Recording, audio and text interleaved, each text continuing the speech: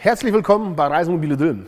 Mein Name ist Eugen Bolthoff und ja, hinter mir seht ihr das Fahrzeug, was wir euch heute in diesem Video vorstellen möchten. Unseren Mobilwetter Kia P64. Ähm, unser neuer Grundriss vom Mobilwetter auf der Kia-Variante. Ähm, P64 steht hier für ein 6,99 langes Einzelbettfahrzeug mit der Option zum Hubett.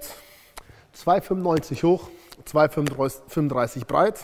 Ja, und Mobilwetter typisch halt mit dem Bug, mit dem Mobilwetter-Logo, Rahmenfenster und ich würde sagen, wir gehen einmal drum herum. Genau. Äh, Mobilwetter-typisch ähm, haben wir hier einmal die Rahmenfensterabwerk verbaut, den Absorberkühlschrank. Modellbedingt bieten wir auch einen Kompressorkühlschrank an. Den Frischwassertank-Füllstutzen. Das schöne Gasfahr, wo beide Flaschen nebeneinander Platz finden. Hier auch schon mit der Duo Controller Sonderausstattung ähm, eingeführt. Das Ganze auf 16 Zoll Leichtmetallrädern. Bei dem Fahrzeug jetzt hier in der Serie auf einem Leitfahrwerk, sprich 3,5 Tonnen. Das Ganze auch optional natürlich bis 4,4 Tonnen. Auch das Ganze auf Fiat dann mit Automatik. Truma Kombi 6 ist serienmäßig verbaut. Die Option ist auch hier vorhanden, das Ganze als Hybridheizung zu bestellen sprich als äh, Truma Kombi 6e mit zwei Elektroheizstäben oder als Diesel, Diesel-Elektro. Das ist möglich. Ja, und dann haben wir halt das Schöne bei dem 699 Fahrzeug ist halt durch die Einzelbetten haben wir auch hier, wie man es beim Mobilwetter kennt, die große Heckgarage. Türen sind identisch. Wir haben einmal große, den großen LED-Stripe als Beleuchtung mit drin. Wir haben einmal hier hinten die Heizung verbaut. Frostwächter direkt hinten an der Heckgarage. Kommt man super dran. Ähm, auf der Markisenseite oder auf der Beifahrerseite, der Wagen hat in dem Fall noch keine Markise, bieten wir aber selbstverständlich natürlich als Option an. Haben wir auch nochmal eine 230 Volt Steckdose in der Heckgarage verbaut. Das ist hier schon Serienstand. Ja, dann mit einer der schönsten Ansichten beim so Mobilwetter, egal ob man Kia P, Kia E, Crosser oder den neuen Technoline nimmt, ist, finde ich, halt die Heckansicht mit den schmalen LED-Stripes. Das sieht halt schon schick modern aus. Das Ganze hier ein bisschen in Schwarz, Hochglanz und Anthrazit abgesetzt. Optional empfehlen wir auch allen unseren Kunden, ist die Doppelaugen-Rückfahrkamera ab Werk zu bestellen. Da haben wir einen Innenraumrückspiegel und wie gesagt eine Doppelaugen-Rückfahrkamera. Und die ist hier mit knapp 690 Euro vom Preis her auch unschlagbar.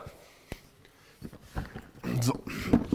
Die Garage ist natürlich auf beiden Seiten identisch groß. Nur der einzigste Vorteil ist, auf der Beifahrerseite habe ich das Ganze nochmal mit einer Adressierung, auf der Fahrerseite das Ganze mit einer Feder gespannt, sodass man das Ganze dementsprechend hier bei der täglichen Nutzung super im Sommer arretieren kann, wenn man mal Sachen rein und rauslegen will. Ähm, ja, ich sag mal, die Toilettenkassette ist, glaube ich, allen bekannt. Ähm, wir haben hier eine Tedford-Toilettenkassette verbaut. Und dann haben wir noch unser letztes kleines Fach nochmal sozusagen in der Seitenschürze verbaut. Da kann man noch mal ein paar Kleinigkeiten reinlegen. Und ja, dann haben wir Mobiletta typisch die äh, Aufbautür mit Verglasung, mit großer LED-Außenbeleuchtung, ähm, die gleichzeitig als Regenablaufkante dient. Ja, und dann würde ich sagen, äh, Patrick, wir schwingen uns mal rein und schauen uns den mal von innen an, oder? So, meine Lieben. Ähm, ja, wir sind angekommen im Kia P64. Ähm, da das Fahrzeug hier ähm, etwas kürzer ist als die äh, 86er, 90er Serie mit 7,50 Meter, haben wir hier nur 7 Meter. Deshalb haben wir das Ganze hier mit einem Kombibad versehen, nicht mit Dusche, Toilette getrennt. Da kommen wir aber gleich zu. Wie man es kennt, Pilotensitze für Fahrer, Beifahrer, eine Face-to-Face-Dinette, die man auch dementsprechend halt zu Sitzplätzen umbauen kann.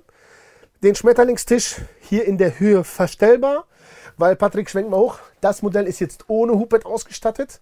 Dann habt ihr auch das große Heki oben drin die durchgehende Schrankgalerie. Das Ganze ist optional auch mit Hubbett zu bekommen. Dann ist der Tisch halt dementsprechend fest, weil Mobilwetter bietet immer ab Werk die Option an. Wenn kein Hubbett bestellt, könnt ihr hier immer noch ein Notbett draus bauen. Das finde ich äh, relativ charmant gelöst. Wenn man sagt, die Leute, die kein Hubbett haben, haben immer noch die Möglichkeit, jemanden temporär mal auf so einem Notbett einzuquartieren. Ja, Patrick zeigt euch mal so eine Roomtour durch den Dinette-Bereich. Ich finde er super gelungen. Die Polster ist halt Mobiletta-like. Finde ich immer ein Hingucker, aber das muss jeder selber entscheiden. Patrick schwenkt einmal mit der Kamera rum und wir begeben uns mal Richtung Küche, würde ich sagen. Außer der Nette stehen wir schon in der Küche. Drei Flammen Gaskocher mit elektrischer Zündung. Edelstahl-Waschbecken. Das Ganze natürlich hier mit den cleveren ähm, Abdeckungen bzw. Schneidebrettern. Wie gesagt, ohne Hubbett haben wir das Ganze hier durchgehend in den Schrank baut. Schöne große Schränke, schließen schön. Und dann natürlich auch die heißgeliebten tiefen Einzüge, die Mobilwetter anbietet. Das ist halt das, äh, wo jeder sagt, das ist halt mal wirklich äh, bis auf den letzten Zentimeter genutzt. Das Ganze mit Softclose. So. Das Ganze natürlich auch mit Besteckkasten. Hier ist noch das Schneidebrett mit drin. Genau, Küche. Hier ein bisschen über Eck, schön tief, schön viel Platz. Ähm, ich habe hier wirklich ein super Raumgefühl und habe direkt neben der Küche dann unseren Automatik-Absorber-Kühlschrank von Tedford. Funktioniert wie gesagt ähm, über alle drei Betriebsvarianten beziehungsweise über Strom, 12 Volt und Gas. Wobei hier immer unser Ratschlag, die 12 Volt Variante ist ein reiner Haltungszustand. Und ja, das wäre die Küche. Und dann würde ich sagen, Patrick, wir gehen mal ins Bad. Im Bad, wie ihr seht, haben wir einmal die Möglichkeit, den Waschtisch komplett umzuklappen, sodass wir wirklich auch eine Duschkabine generieren können. Wir haben hier einmal die Tedford Toilettenkassette mit schwenkbarem, ähm, mit schwenkbarem Toilettendeckel, elektrischer Spülung. Und wenn wir einmal am Waschbecken ziehen, dann kommt uns sozusagen schon die Dusche entgegen, arretiert und dann kann ich das Ganze hier umklappen mit so einem ja, mit so einer Doppelschwingtür kann es schließen und dann nochmal mit dem wasserdichten Rollo zumachen und habe auch eine super bequeme und relativ große Duschkabine. Und wenn ich es nicht brauche, schwenke ich es wieder zurück und habe wirklich ein schönes Badezimmer. Der Holzrost ist serienmäßig dabei. Das heißt, wenn man die Dusche nicht nutzt, sondern wirklich nur das Bad, kann man das Ganze auch dementsprechend mitnutzen. Ja, und zu allerletzt sind wir im wichtigsten Teil angekommen. Das ist hier bei Mobil Wetter beziehungsweise sind hier bei Mobiletter die Einzelbetten. Wir haben Einzelbetten mit einer Bettverbreiterung für die Mitte. Hier das Schöne dementsprechend auch nochmal mit Schiebetüren, dass ich das Ganze auch nochmal nach vorne hin, jetzt werdet ihr mich nicht mehr sehen, nach vorne hin abschließen kann, beziehungsweise wieder aufschließen kann. Ähm, und so kann man wirklich hier auch ein bisschen Privatsphäre schaffen, falls der Partner noch nicht müde ist oder schon zu früh wach ist, in welcher Konstellation auch immer, kann man das Ganze hier etwas räumlich trennen. Das heißt, der Schlafabteil ist zu die Nette nochmal hier über die zwei Schiebetüren getrennt. Und das Ganze finde ich halt auf 6,99 als Grundriss halt super für zwei Personen oder gar sogar für drei oder vier Personen mit Hubbett. So, meine Lieben, ja, das war's mit unserem Mobilwetter KRP 64. Ähm, wir fassen nochmal alle Fakten, Zahlen zusammen. Baulänge 6,99, 2,35 Meter breit, 2,95 hoch.